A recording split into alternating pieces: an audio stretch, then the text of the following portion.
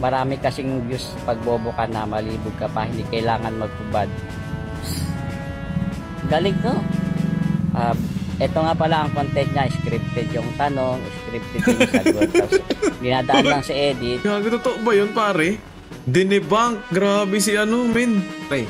Yun ay kung may dignidad ka lang naman sa katawan na patunayan na patunayan niya sinasabi mo o baka mas importante sa iyo yung utot ng utak mo.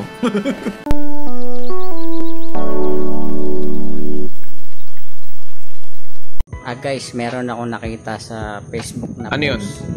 Ang sabi, si Marian daw ang nagpatunay na hindi kailangan ng mga girls magsuot ng sexy para lang mataas ang views, para tumaas ang views. Reality check lang tayo ah. Si Marian, superstar yan sa Pilipinas. Kahit mag-upload yan ng walang gawin, may views talaga yan. Totoo yun, pare. May views yan.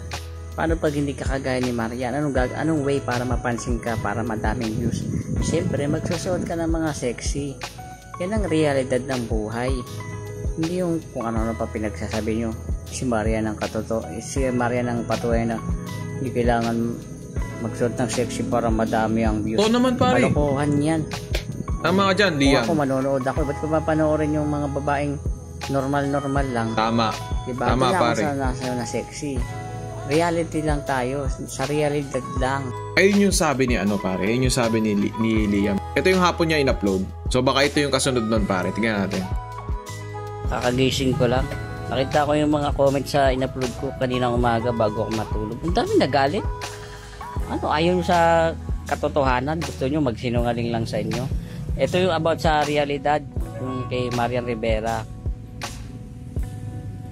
Kaya mahirap mga Pinoy eh. May ibang Pinoy, ganyan mindset eh. Gusto-gusto magsinungaling na lang sa kanila kaysa masaktan pa sila pag sinabi mo yung katotohanan eh. Totoo Diba? yan, pare. Oh. Tapos may nag-comment pa na isang content creator.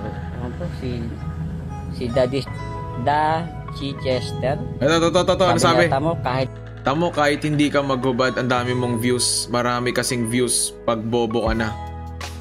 Marami kasing views pag bobo ka na. Malibog ka pa. Hindi kailangan maghubad. kung hindi ka magubad, ang dami mong views.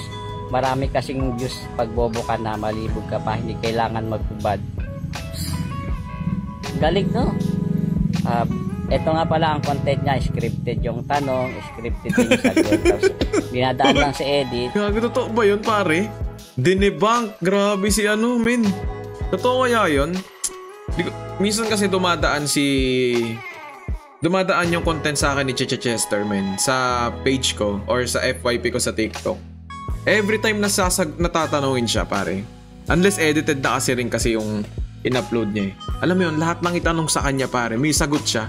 At yung sagot niya, pare, eh, yun yung pinaka-general na sagot din ng Pilipino na gustong marinig ng Pilipino. For example, about sa sinagot niya yung sagot din ni O'Neil. Parang tinagalog lang. Parang ganun kasi napanood ko rin kay O'Neil. Hindi naman word by word pero pag tinignan mo yung context nung sinabi niya tsaka context nung sinabi ni O'Neil halos parehas.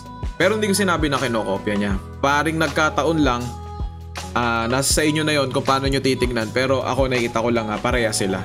Tapos, galingan lang sa pag-acting yan, pati sa pag-delivery, para magmukha siyang matalino ito. Binibuild up pa, eh, bagong content creator ata to para binibuild up para magmukhang ano, ah Rendon, ko, pakilang 2.0 na to. Ewan ko. Pag ilang 2.0 na to. Ang ina Liam to. Gago rin eh, no?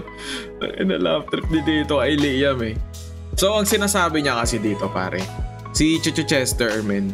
Ay, ito, nag-comment. Ito, nag-comment. Nag-comment si Chicho Chester. Ang comment ni Chicho Chester, pare. Liam Lerio.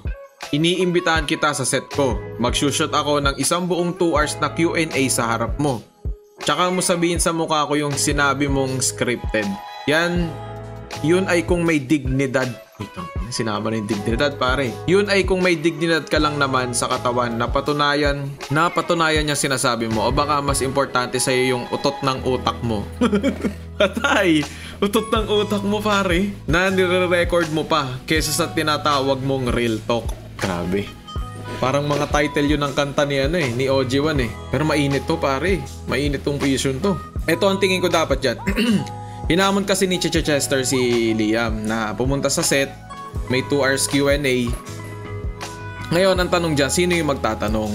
Kailangan, kung ganyan kasi na may gusto siyang patunayan kay Liam, dapat si Liam yung magbibigay ng tanong, hindi yung baka stage na yung tanong. Hindi kasi natin sigurado pare, hindi natin sure kung stage na yung tanong. So mas maganda talaga kung si Liam ang magtatanong sa kanya para ma- magkaalaman talaga sa kanila. Kasi mahirap din eh, sinabihan siya na may utot siya sa utak. Ito, sa may nag-comment si Chester, sinabihan siya na may utok sa, utot sa utak. Ngayon, pag si Liam ang nagtanong sa kanya, min, tapos di niya nasagot, sino na sa kanila ang may utot sa utak? Yun ang gusto ko malaman sa mga susunod na video, pare. Sana magkaalaman pa sila. Usapan kung kailan ang babae magpakita ng katawan para sumikat, ba't tumating sa utot yun din yung pinagtataka ko, pare. Ba't umabot sa utot ng utak eh? So yun lang.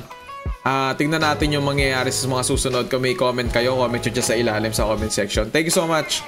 Ah, magandang gabi. Paalam.